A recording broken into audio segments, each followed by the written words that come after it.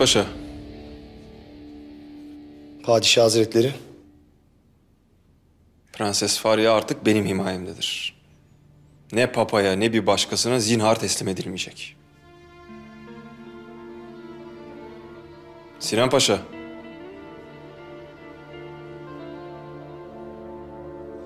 Prensesin amcası İşvan'a haber yollayın. Hakkındaki ithamlardan mütevellit derhal izahat versin. Emredersiniz hünkârım. Lakin Prens İşvan bunun bir iç mesele olduğunu söyleyecektir.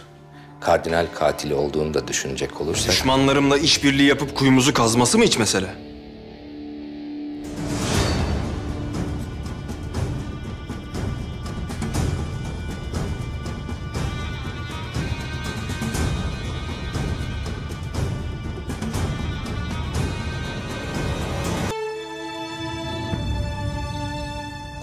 Hava ne güzel.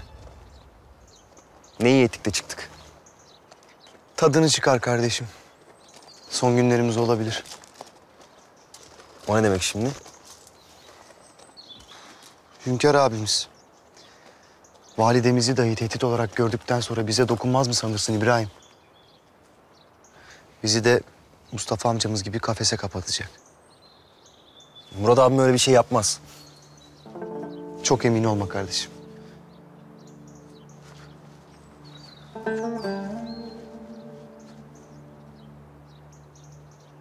Sohbet ederiz diye geldim lakin. Nedir bu haliniz? Bir şey mi oldu? İbrahim, Hünkârım, bizi kafese kapatmazsınız öyle değil mi? bu da nereden çıktı?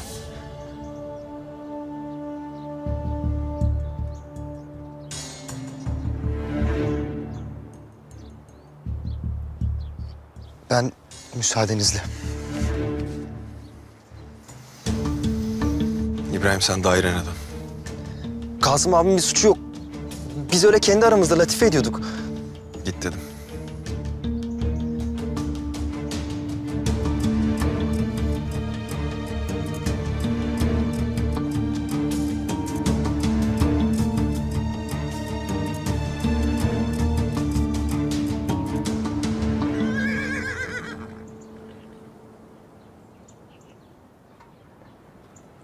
Kemankeş ağa.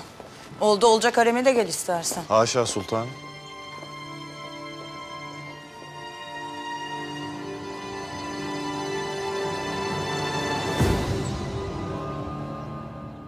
Kasım. Sen ne anlatıyorsun İbrahim'e? Söyle. Sizi kafese kapatacağımı düşünüyorsun. Öyle mi? Haşa hünkârım. İbrahim'in de dediği gibi biz yalnızca latife ediyorduk. Kasım. Benim gamsız, kedersiz kardeşim. Abin olarak bu yaptıklarını hoş görebilirim. Lakin hünkârın olarak bunu bekleme. Bundan böyle lafını bil, öyle konuş. Anladın mı?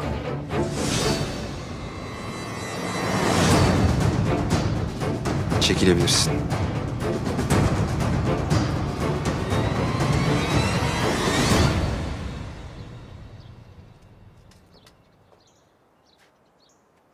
Hünkârım. Emriniz üzere bütün gün valide sultanımızın yanındaydım. Vaziyetten hiç hoşlanmadılar. Alışacak Kemankeş. Herkes gibi validem de kararlarıma alışacak. Söyle, neler yaptı bugün validem?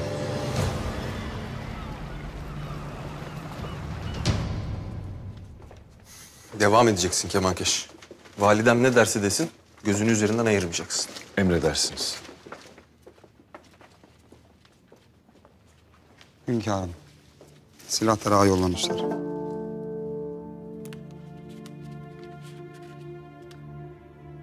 Hünkârım Topal Paşa ile alakalı mühim bir malumata ulaştım. Hususi bir mesele. Sarayda konuşmamız doğru olmayacaktır. Galata'da Ezerfen Çelebi'nin mekanında sizi bekliyorum. Mühim bir mesele mi var hünkârım? Anlayacağız. Hazırlığını yap Kemankeş. Akşam tebdil çıkıyoruz.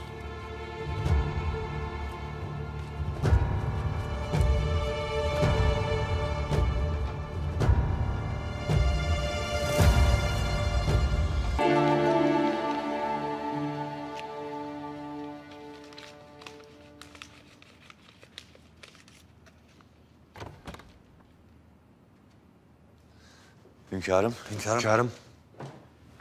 Silahlar. Neymiş şu mühim mesele? Hünkârım, Topal Paşa'nın gizli bir evi olduğunu öğrendim. İkinci bir hayatı varmış. Bir hatun ve bir çocuk. Bunlar da orada bulduğum eşyalar. Topal Paşa'nın sırları bitmek bilmiyor.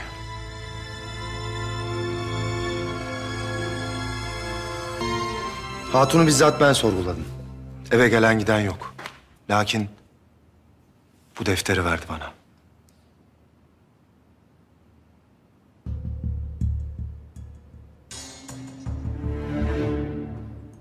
Nedir bu? Kudüs şövalyelerinin talimatı hafiyesi. Hünkârım ancak ve ancak cemiyet mensuplarının sahip olabileceği gizli bir talimatname bu. O halde Papa'nın mektubunda bahsettiği teşkilat Kudüs Şövalyeleri öyle mi? Cizvit tarikatından. Buyurduğunuz gibi hünkârım. Defterin arasından bir pusula çıktı. Rahip Lorenzo'ya yazılmış.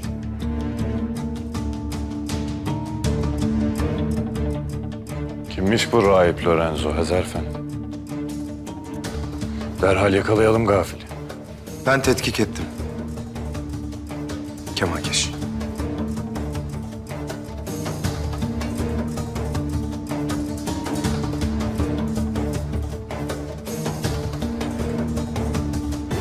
Hünkârım bu Kudüs şövalyeleri gittikleri yerlerde halkın arasına karışıp ticaret yapıyorlar.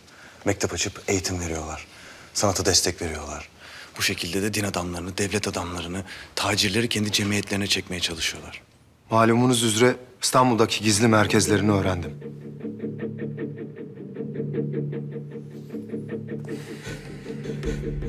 Silahlar. Yarın şu rahip Lorenzo'yu bir ziyaret edelim. Bakalım neler anlatacak bize.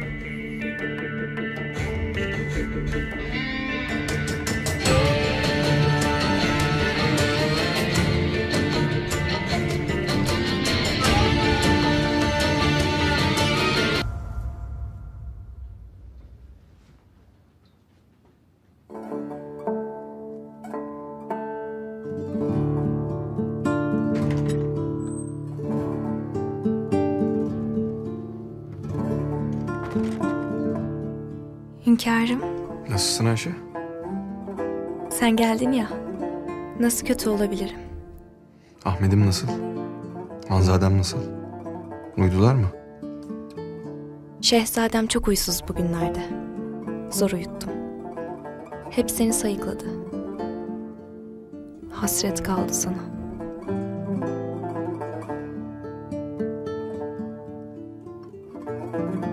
Ben de öyle.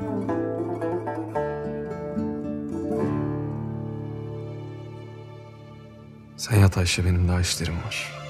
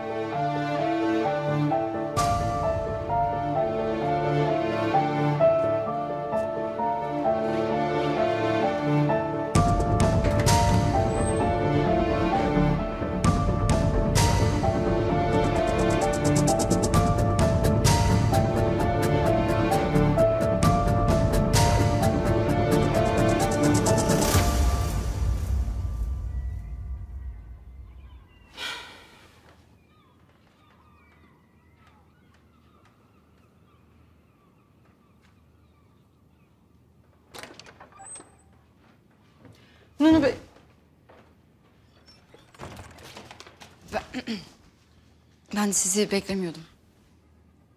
Erdal meselesinin çözülmesi biraz vakit alacak. Bu sebeple birkaç hafta daha burada kalacaksın. Bağışlayın ama kalamam. Zaman yok. Bir an önce annemi kurtarmak zorundayım. Validenin emniyetli bir yerde olduğunu söylemiştin. Amcam onun peşinde. Ya bulursa düşüncesi bile korkunç. Gitmeliyim. Eğer öleceksek de beraber öleceğiz. İşfan'a fermanım gitti. Papaya da öyle. Artık kimse buna cüret edemez. Zira seni himayeme aldım. Teamüller icabı esirimsin. Esir mi?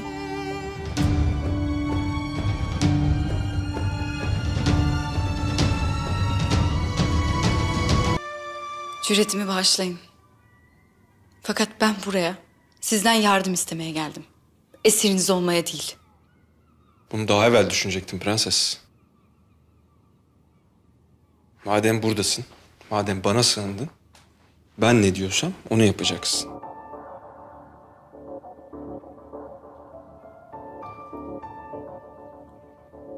Peki ya şimdi ne olacak?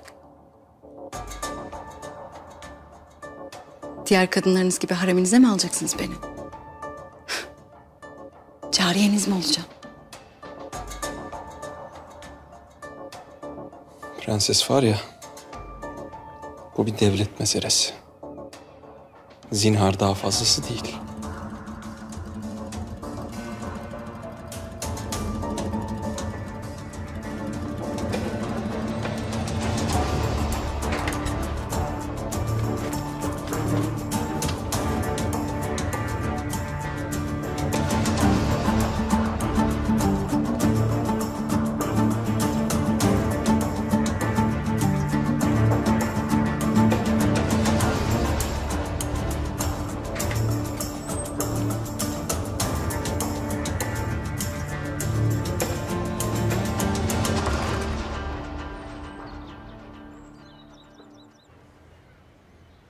Prenses pek yaman.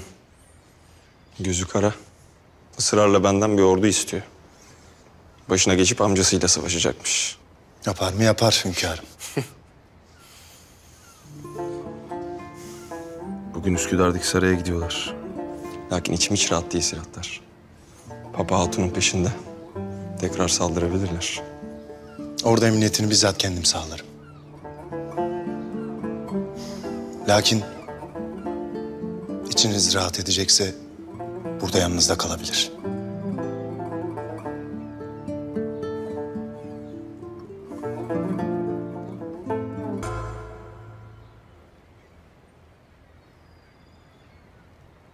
Prenses Farya oğlumun aklını başından almış belli. Gece onun yanına gittiğine göre. Vallahi hatunun gözü göz değil sultanım. Fena. Validem. Aslanım hoş geldin. Gel otur ana oğul sohbet edelim biraz. İşlerim var çıkacağım. Prenses Farya'nın vaziyeti hakkında konuşmaya geldim. Üsküdar'daki saraya göndermekten vazgeçtim.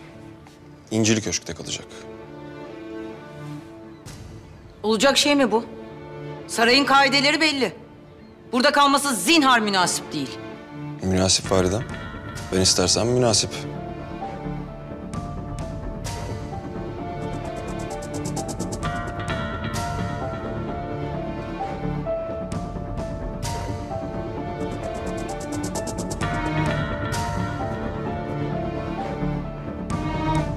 Hacı!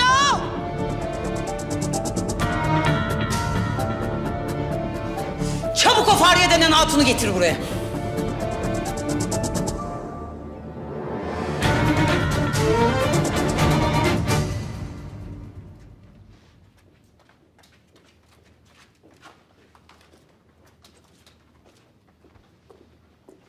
Hazırlıklar tamam hünkârım. Hünkârım, çıkıyor muydunuz? Konuşmak istediğim mühim bir mesele vardı. Gel Bayezid yolda anlatırsın.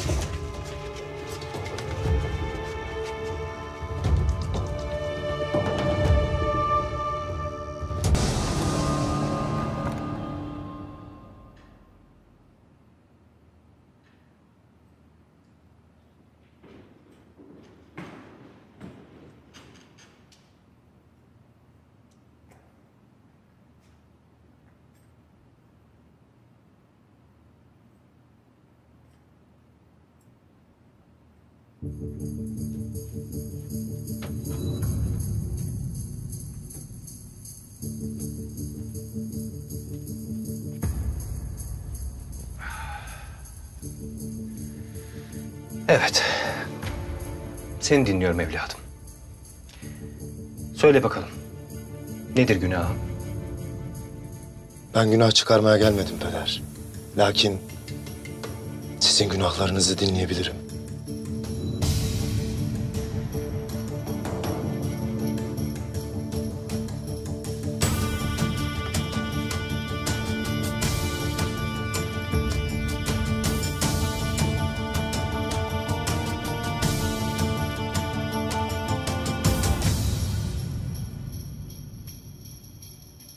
Neler oluyor?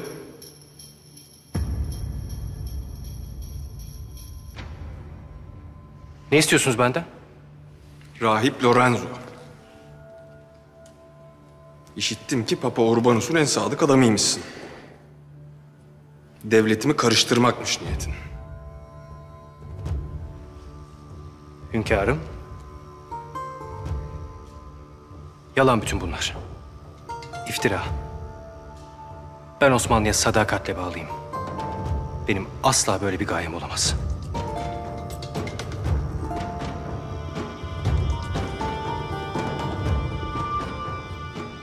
Biz sizi konuşturmasını biliriz peder.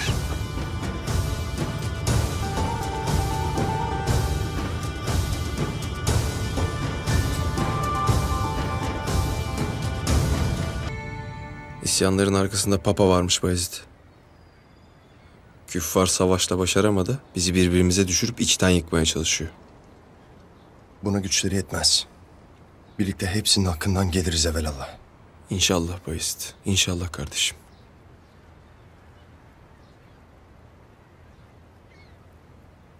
Sen benimle bir şey konuşmak istiyordun. Canı sıkkın belli. Nedir mesele? Validemden mektup aldım. Rahatsızmış. Durumu pek iyi değil.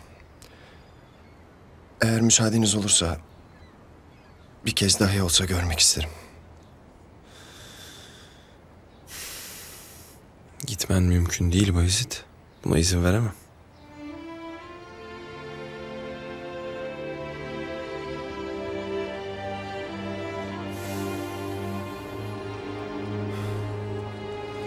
Lakin validen buraya gelebilir.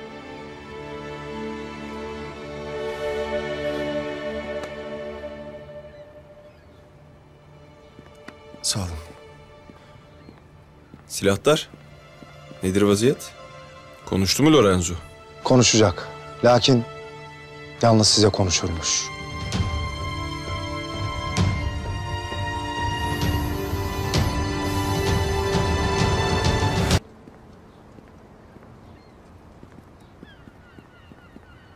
Rahip Lorenzo. İşte buradayım, karşındayım. Ne biliyorsan anlat. Yüce Padişah Hazretleri. Osmanlı büyük bir imparatorluk. Ama siz isterseniz çok daha büyük bir imparatorluk olabilir. Roma dahil bütün dünyaya hükmedebilirsiniz. Roma dahil. Roma, Viyana, bütün Avrupa kan dökmeden, savaşmadan elinize geçebilir. Hmm. Şimdi merakımı cezbettin. Nasıl olacak bu iş? Şüphesiz tarihin gördüğü en kudretli hükümdar olacaksınız. Tabii eğer vaftiz olup Hristiyanlığı kabul ederseniz.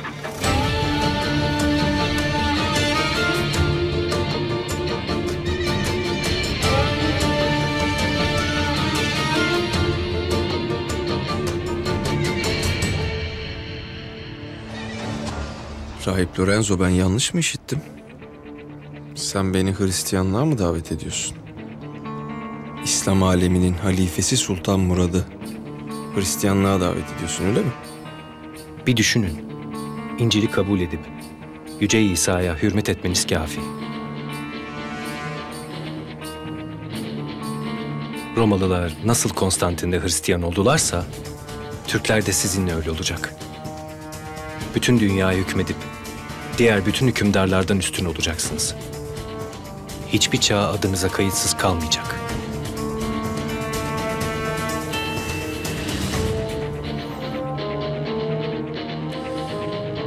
Benim Hazreti İsa'ya hürmetim baki. Lakin benim yolum Hazreti Muhammed sallallahu aleyhi ve sellemin yoludur. Pusulan bellidir. Kur'an-ı Kerim. Dünyaya gelirsek bir gün inşallah tamamını fethedeceğiz. Aziz Pietro'da, Aziz Stefan'da namaz kılacağız. Lakin sen bunu göremeyeceksin. Allah!